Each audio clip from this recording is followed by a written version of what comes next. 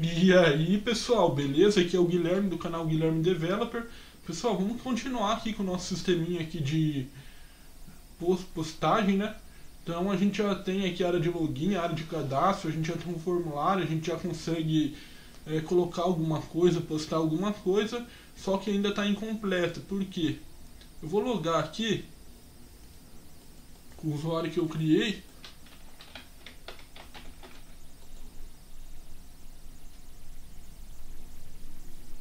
É, o que, que a gente vai fazer, pessoal, nessa aula? A gente vai criar o sistema de comentários é, para as outras pessoas poderem comentar a publicação de outras. E também nas próximas aulas a gente vai estar tá criando aí a área de perfil para o usuário poder trocar imagem, colocar, trocar nome, trocar senha. A gente vai estar tá criando isso daí nas próximas aulas. Então, vamos entrar aqui no sistema. Ok, ir para sistema, aqui, aqui a gente já tem um formulário para o usuário poder colocar as coisas e aqui é, esse aqui era o que a gente colocou na aula anterior esse, esse título e, esse, e essa publicação. Só que eu quero que apareça aqui embaixo publicado por usuário e tal. E aí futuramente a gente vai colocar a imagem dele aqui do lado também para ficar bonitinho. Então Vamos fazer isso. Vamos vir aqui na, na view, né? Nas views. System. Ok. Vamos colocar aqui.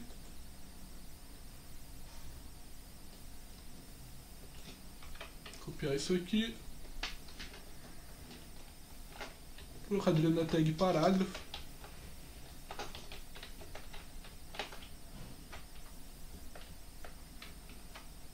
Colocar aqui publicado por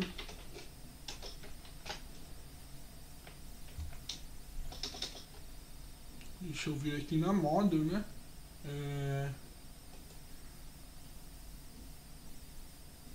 nome user. Deixa eu copiar isso aqui.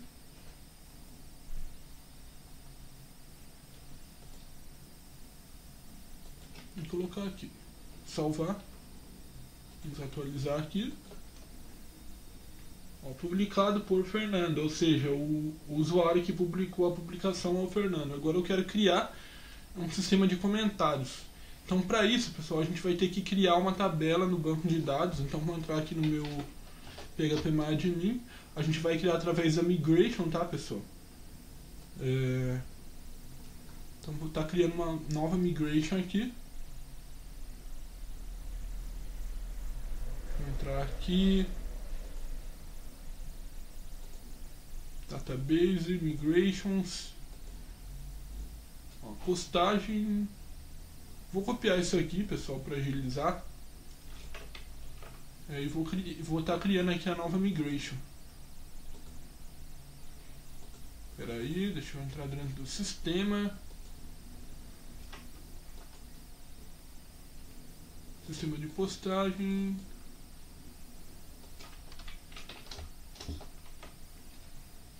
Vou dar o comando aqui, php artisan make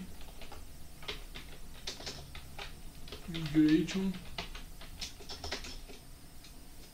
vou chamar aqui de commit.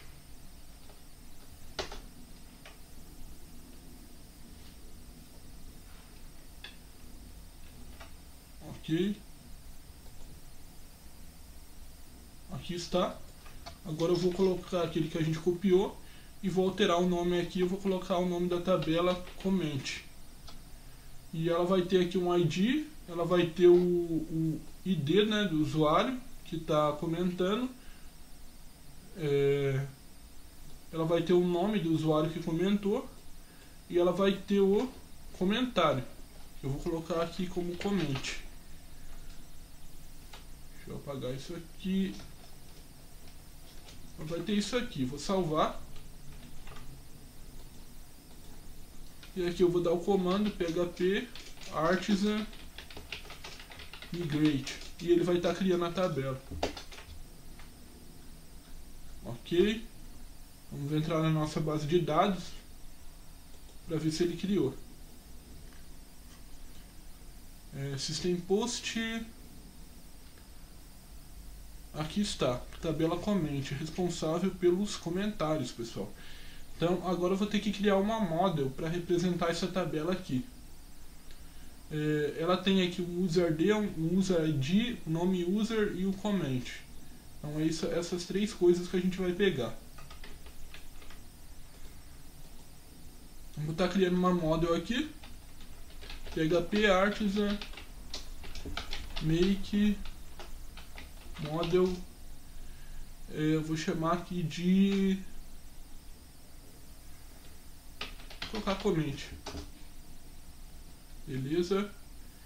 E vou estar criando um controller também, pessoal. Para os comentários. Então vou colocar aqui PHP Artisan Make Controller. Vou chamar de comente também. vou colocar aqui comente comente user aqui aliás eu quero criar com os métodos. Então vou colocar aqui comente user é, comente user x resource. Aí ele já vai criar os métodos para mim. Resource, acho que tá certo. Ok. Vamos salvar isso aqui. Vamos ver se ele criou aqui o controller. É isso aqui. Então, bom, a gente quer gravar um comentário, então a gente vai estar tá utilizando é, esse store aqui, pessoal, para poder gravar. É, e aqui na model, é, comente, eu vou estar tá passando aqueles valores. Então, basicamente, eu vou fazer o seguinte: eu vou copiar isso aqui para agilizar dessa outra model. Vai representar aqui a tabela no, no banco de dados comente. Deixa eu ver se é isso aqui mesmo. É, comente. Uhum vai ter user ID, nome user e o comment.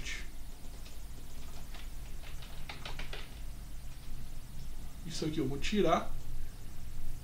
Picture, pessoal, é, eu vou deixar porque futuramente a gente vai colocar é, a imagem né, do, do usuário que está comentando.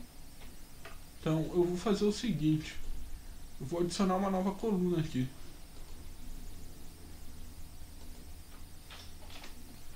Então vou jogar aqui nome da tabela. Deixa eu ver se está gravando. Beleza, tabela. Comente, adicionar coluna, vai ser Picture. Pessoal, ó, lembrando uma coisa, é... a gente não vai fazer o upload da imagem no banco, tá? É, a gente vai pegar ela através do endereço, então a gente vai a gente não vai jogar a imagem em si é, no banco. Então, basicamente, eu vou pegar o endereço da imagem. Então, vou estar utilizando aqui um varchar. É, eu vou colocar aqui uns 200. Deixa eu apagar isso aqui.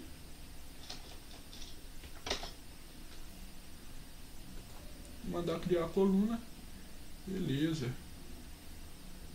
Aqui está que futuramente a gente vai colocar a imagem, mas nessa aula a gente vai não vem ao caso ainda, mas eu vou colocar e vou ensinar para vocês. Ok, então a gente já tem aqui user, nome user, comente e picture. Então o que, que eu vou fazer?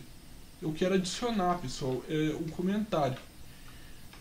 Então eu vou vir aqui na view, vou criar um campo, pessoal, para um input para o usuário poder comentar. Vou vir aqui, system Eu vou criar um form.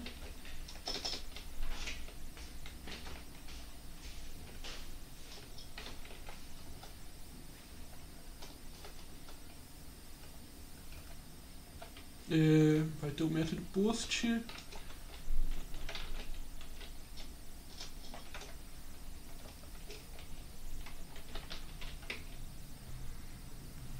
É, bom, vamos criar essa rota então né pessoal? Desse controller então tem aqui o controller, esse controller aqui. Vamos criar a rota para ele.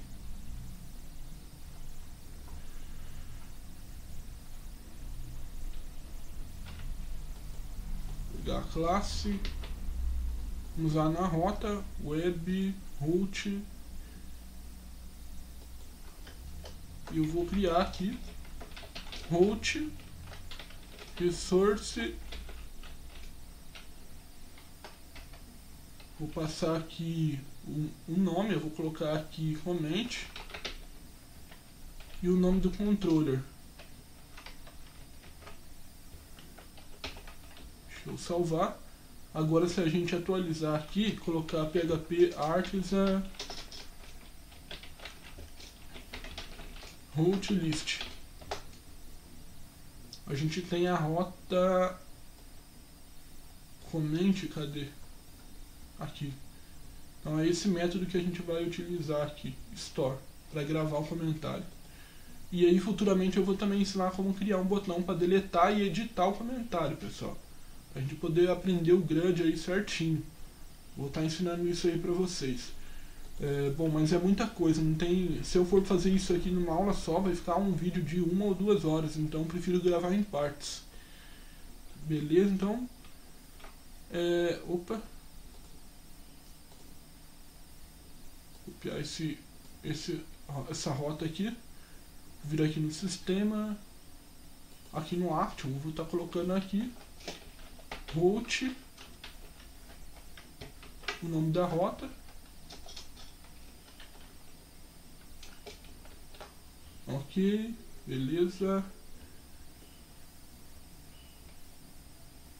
É, e esse aqui é muito importante, pessoal. Esse SRF Field, ele é uma proteção, tá? Contra... Vamos supor, você cria lá um formulário e tal, e alguém lá intencionado vai lá e injeta um código malicioso que altera a tua página. E aí coloca uma defesa ou coisa do tipo. Então basicamente isso aqui é para proteger contra isso aí. Eu vou estar tá criando aqui um input vazio, né? Deixa eu colocar aqui input tipo text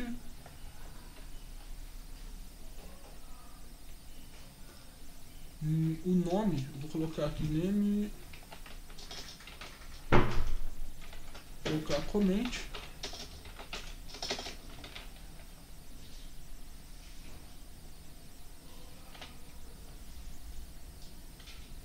É, bom, vou colocar essas classes aqui do, do Bootstrap.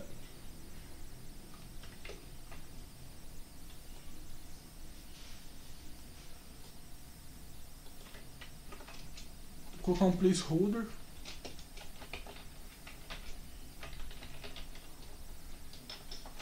Vou chamar aqui de escreva um comentário.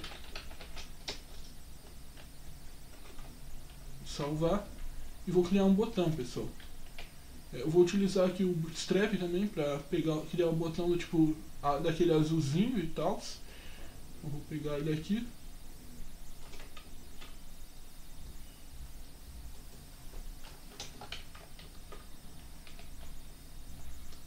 E vou colocar aqui comentar. É, eu vou jogar isso aqui no centro também. Vou colocar um center aqui.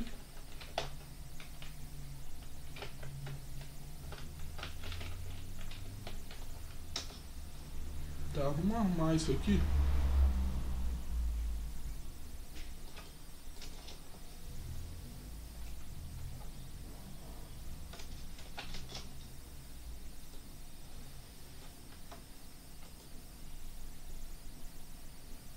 Ok, salvar.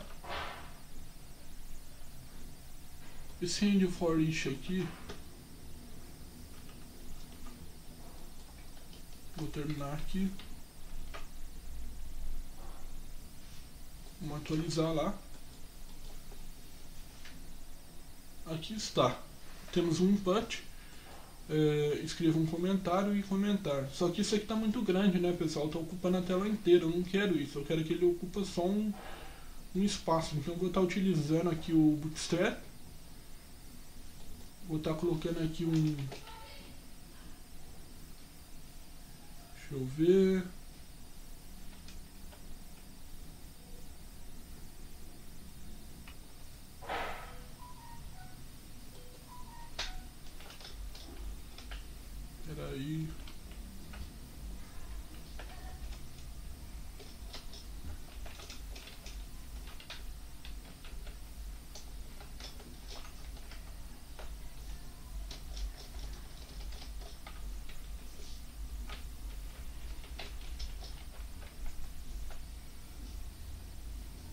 Deixa eu usar um style aqui. Enfim, pessoal, lembrei aqui. É, é a classe Q do Bootstrap. Eu vou estar tá colocando aqui o tamanho é, desse, desse input. Vou colocar aqui 8. Deixa eu salvar. Atualizar. Acho que desse tamanho aqui fica bom. Escreva um comentário, beleza. Agora eu quero gravar esse comentário. Então, o que, que a gente vai fazer?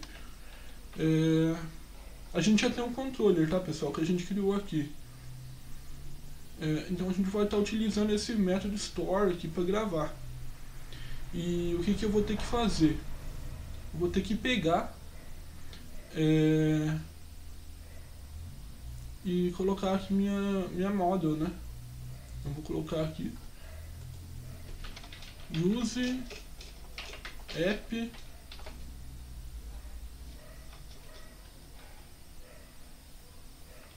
e vou passar a model, no caso é comente.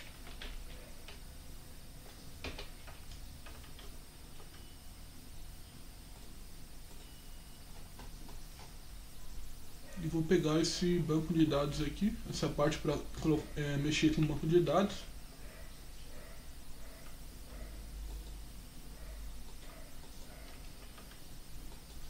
Eu salvar.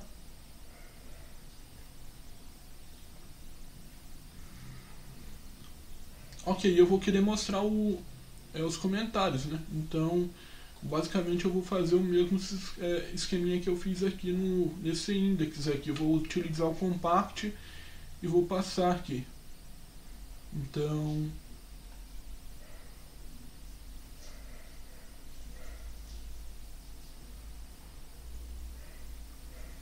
Vira aqui, comente X.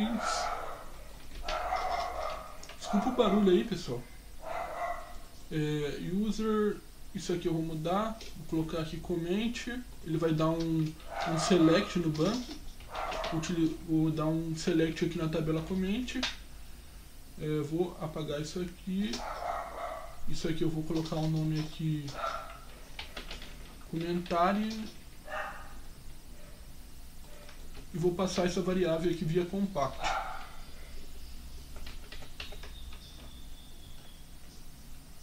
Ok.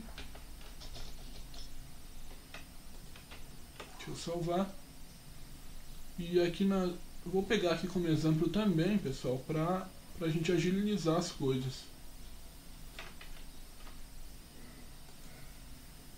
Vou criar aqui o store, onde ele vai gravar e vou alterar aqui, no caso é o request que está ali como nome aqui na nossa view, ele está como nome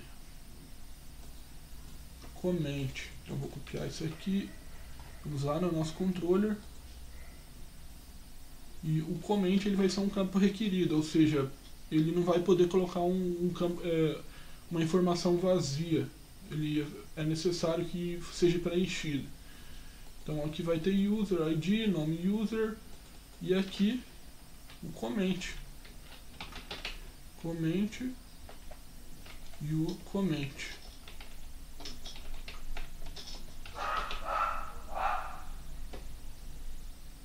Hum, beleza, isso aqui eu vou apagar.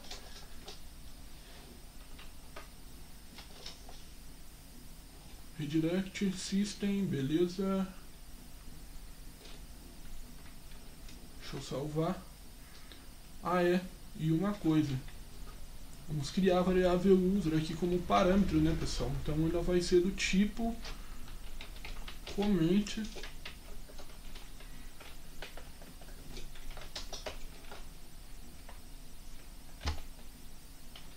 Deixa eu salvar. Vamos ver aqui.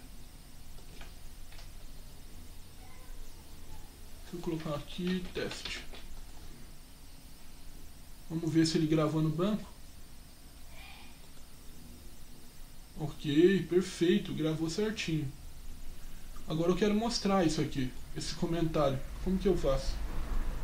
Aí entra a questão. Lembra que a gente passou via compact é, o select que a gente deu no banco? Então a gente vai destrinchar isso aqui, pessoal. Então é, ele está com esse nome aqui, ó, comentário. Então o que, que eu vou fazer? Eu vou vir aqui na minha view.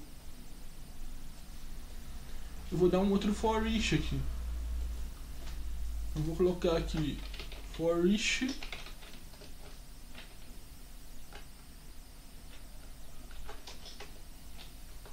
Vou passar aqui a variável que a gente pegou via compact e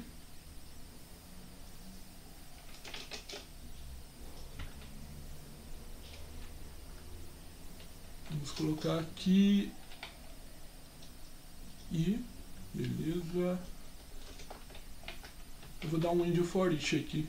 Só que eu acho que alguma coisa aqui a gente vai ter que mudar pessoal. Eu já vou ver aqui. É,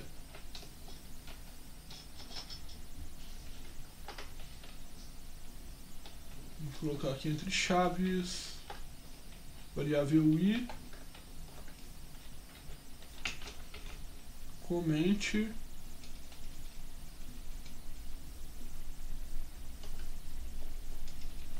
vou dar aqui um tag p,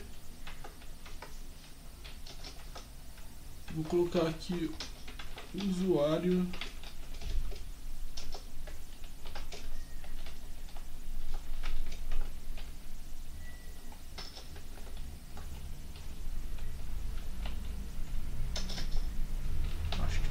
Ver que nome que tá aqui. Nome user. Nome user.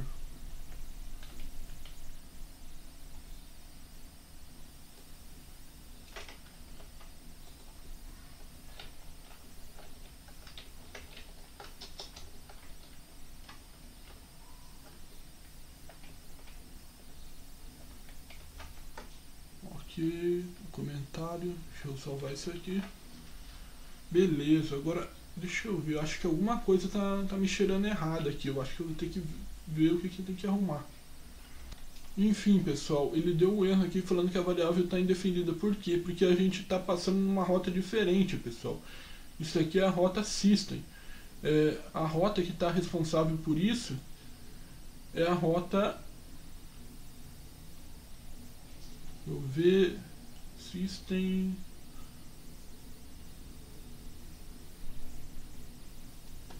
Comentário. Vou fazer o seguinte.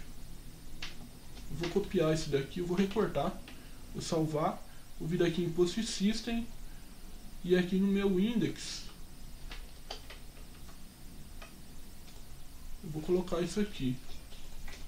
Só vou mudar aqui ah, com o select no banco, em vez de eu fazer aqui na tabela do comentário, eu vou fazer aqui na, na tabela post system, que é que onde está a nossa rota, onde está rodando é, essa view system. Então vou estar tá colocando aqui via compact também. É, isso aqui. Vírgula. Deixa eu salvar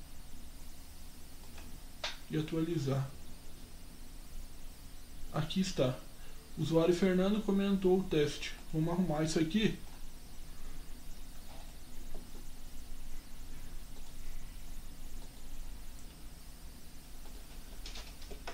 Comentou.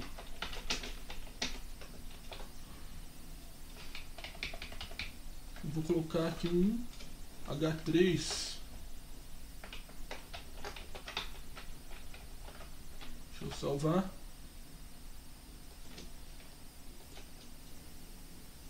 Ok, o usuário Fernando comentou o teste.